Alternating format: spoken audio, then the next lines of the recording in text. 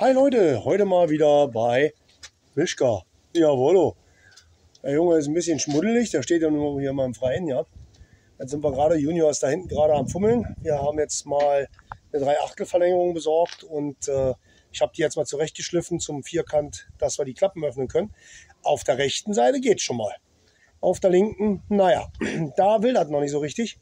Wieder ist da noch zu viel Dreck drin in dem Vierkant. Deswegen ist Junior da hinten gerade mit dem Schraubenzieher am Rumpopeln. wir haben mal die Fenster aufgemacht und hier an dem, an dem Fenster haben wir eine Undichtigkeit oben. Und da will ich auch noch zwei neue besorgen, dass wir da mal neue einsetzen. Und auf der anderen Seite müssen ja auch noch Fenster rein. Da muss ich mal im Internet gucken, was es da Schönes gibt. Ansonsten steht mein kleines Ungetüm hier in der Gegend rum. Ja. Ja, jetzt werde ich gleich noch mit meinem Kumpel quatschen, was wir mit den Bremsen machen. Wollen wir den mal umstellen auf die Betonfläche. Hier hinter mir ist ja noch ein Zelt, da ist ein Boot drin.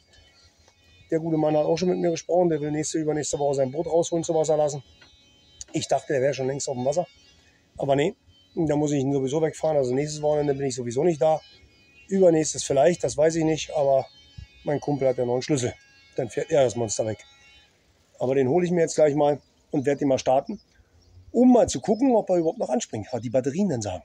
Denn seit Januar war er ja ruhig. Also, gucken wir erstmal nach Öl und nach Wasser, bevor wir überhaupt den Hobel anschmeißen. So, damit haben wir mal aufgemacht. Unser kleiner Luftfilter. Hier haben wir dann Wasser. Da gucken wir mal gleich rein. Aber Wasser ist voll, so wie es sich gehört, wie es sein soll. Schön mit Frostschutz und einer Bärchen.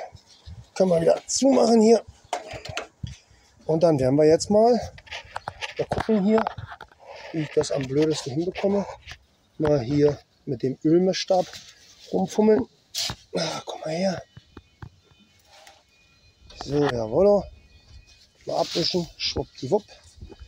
Und dann führen wir den da unten wieder ein. Komm her. So. Und da wollen wir mal gucken, ob das noch alles passt und auch genug drauf hat. Und wie sieht es aus? Ah, drehen wir mal um. Hier noch eine Anzeige. Das sieht gut aus. Kann man gar nicht erkennen auf der Kamera.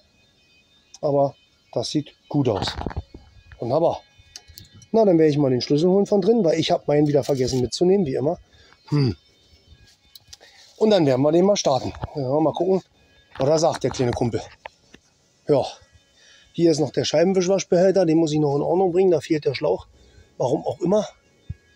Da muss ich mal noch gucken. Hier hinten haben wir die robuste sowjetische Elektronik. ja, es funktioniert aber, ja, egal was man dazu sagt und wie es aussieht, es funktioniert. Ja. Hier haben wir noch ein paar Schalter. Da habe ich bis jetzt noch nicht rausbekommen, wofür das ist, aber ich denke mal, das ist für die Motorheizung alles. Da bin ich mir aber nicht so sicher. Ja, hier unten haben wir ja die Lenkung. Ne? Die Lenkung kommt ja hier runter, zack, zack, aus dem Lenkgetriebe hier unten. Und dann wird das hier umgelegt. Ja, dann werden wir da mal gucken. Ich werde mal gucken, mal ein bisschen Diesel vorpumpen, weil der stand ja nun schon eine ganze Weile. Ah, mal gucken. Ah. Oh. Jawohl. Oh. Jetzt haben wir Diesel da. Und dann werde ich meinen Schlüssel holen. Und dann werden wir die mal starten. So, Strom haben wir schon mal da. Lampe leuchtet.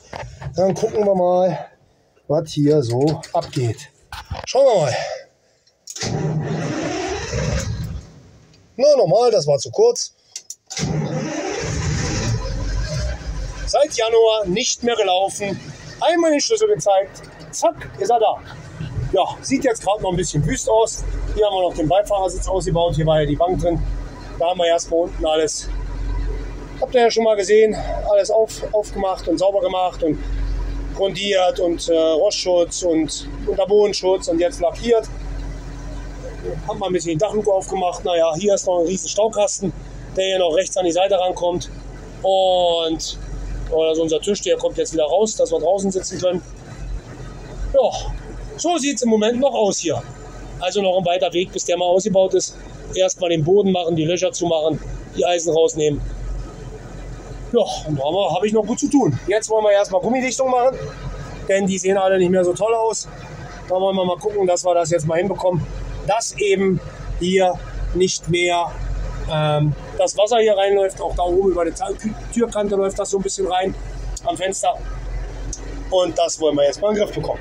Aber ihr seht, seit Januar, Anfang Januar nur umgestellt und er läuft sofort.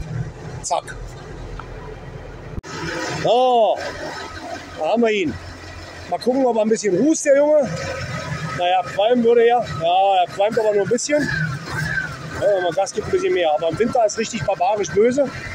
Ja. Und hier, hier haben wir halt die Klappe, wo wir jetzt die Gummis neu machen. Die hatte ich schon mal eingeklebt, aber das hat nicht gehalten. Das war auch nicht das Richtige. Da ist oben immer noch über den Rahmen das Wasser reingelaufen. Ja, und das ist der Staukasten, der hier unten dann hinkommt.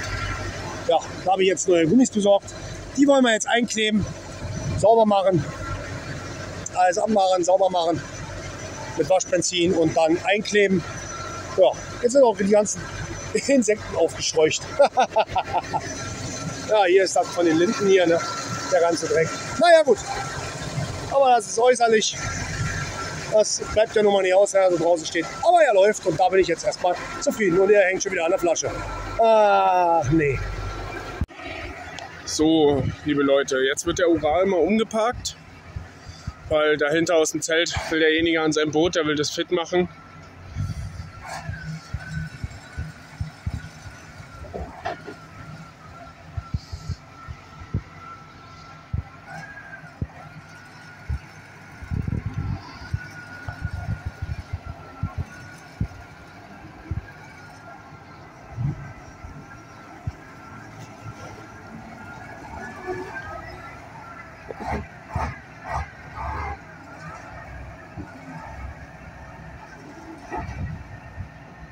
Na komm.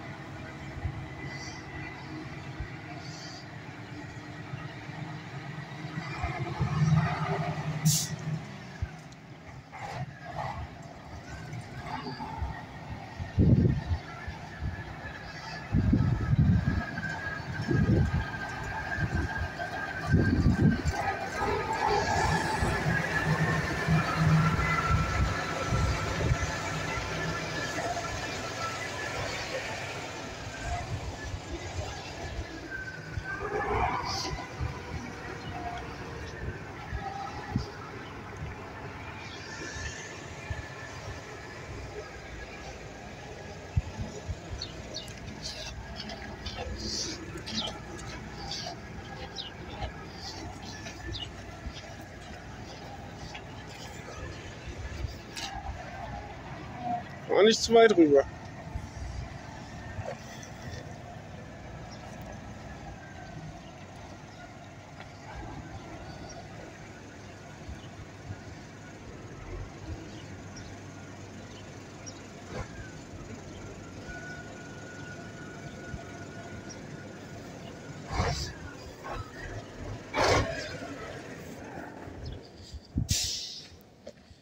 So, da steht das.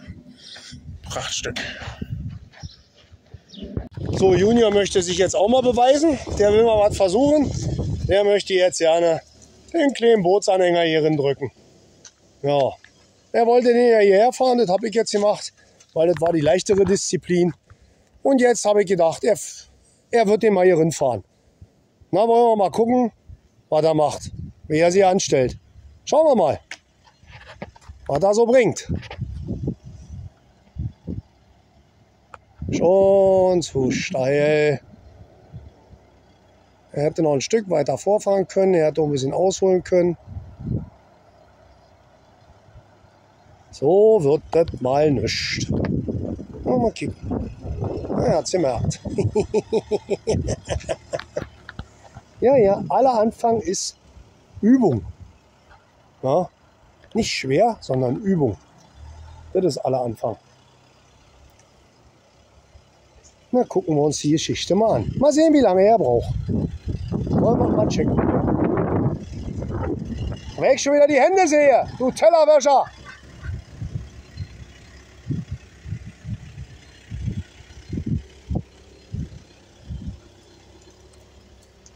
Ja, er sieht, das geht in die Büsche. Machst du mal Start, Stopp aus? Ja, dann passiert dir das nicht. Ja, hat er fast den Bogen raus. Na, gucken mal.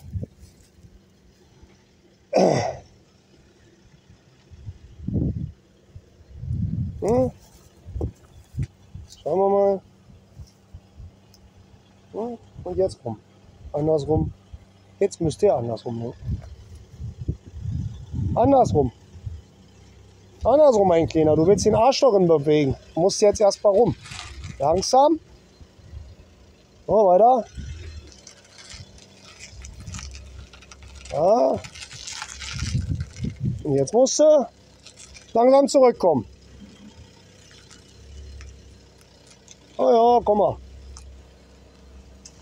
Geht da hinten ein bisschen in die Büsche. Ich guck mal. Warte, warte, warte. Hier ist nämlich der Zaun drin. Ne?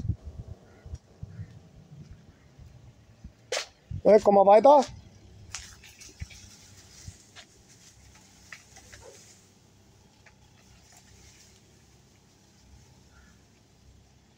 Ah. Mehr hier rüber zu mir, ja, komm. Ja.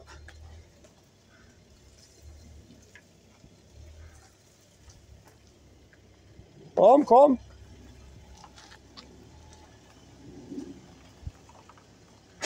Aber jetzt mal voll andersrum, ja. Genau, jetzt gerade. Jawohl. Und jetzt. Oh, lassen wir den so stehen. Lass stehen, lass stehen. Die müssen ihn sowieso wieder wegräumen. Nicht so schnell, da ist ein Baum in den Büsche.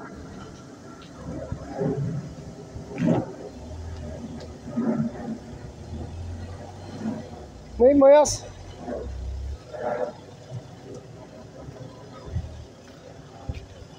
Ja, gut, gut, gut, gut, gut, gut, gut. Reicht. Oh, naja, hat er doch hinbekommen. Geht doch. Drei, drei Anläufe ist doch mal in Ordnung. Jetzt bin ich auch noch in das Loch gefallen hier. Drei Anläufe. Nach langer, langer Zeit. Geht das doch wieder. Dafür, dass er nie Auto fährt, kann man sich nicht beschweren. So Leute, da haben wir mal die Klappe ausgebaut. Mal den Drostel sauber gemacht und neu lackiert. Und dasselbe machen wir mal jetzt noch mit dem Batteriekastendeckel. Der sieht ja auch nicht mehr so toll aus. Das machen wir jetzt auch noch. So, hier haben wir das Loch, die Luke, wo die da oben rankommt. Hier habe ich dann auch die Dichtung eingeklebt. Das ist so eine, ja, leider nur Schaumstoffdichtung. Ne? Eine Gummidichtung habe ich nicht bekommen. Und normalerweise hm, haben die die Dichtung immer an der Klappe. Na, hier ist noch Farbe dran vom Lackieren. Und ich habe die jetzt mal hier reinge reingeklebt in der Hoffnung, dass das vielleicht besser abdichtet, wenn die Klappe dagegen drückt. Da müssen wir mal gucken, ob das funktioniert. Ja, aber im Moment liegt die noch da hinten. Die habe ich jetzt auf den Reifenstapel gelegt da. Da nochmal zum Trocknen. Da hinten. Da gammelt so rum. Faul und dumm gammelt so rum hier in der Sonne. Und äh, sieht ja schon ganz gut aus. Man kann die schon mal anfassen. Und sieht doch ganz gut aus hier, das, Trockne. Aber man, ich bin da noch ein bisschen skeptisch. Nicht, dass naja in der Nut dann doch irgendwie trocken ist, äh, noch feucht ist und dann klebt er zusammen und dann habe ich einen Scheiß. Habe so ja schon überlegt, ob ich hier nochmal eine Dichtung drin klebe, dass Dichtung auf Dichtung drückt. Wäre vielleicht auch nicht so schlecht. Naja, mal gucken. So, wir werden uns jetzt mal daran machen, Junior und ich, und die Klappe da wieder einbauen. Wir holen die mal hierher und hängen die dann mal hier wieder ein. So, Junior hängt jetzt mal die Klappe drin. Jetzt Scharnier muss da oben. Warte, warte, warte, warte. Oben? Ja, jetzt kannst du darin machen. Warte mal, ich gebe dir mal die Schrauben. Hier kannst du mal eine ansetzen.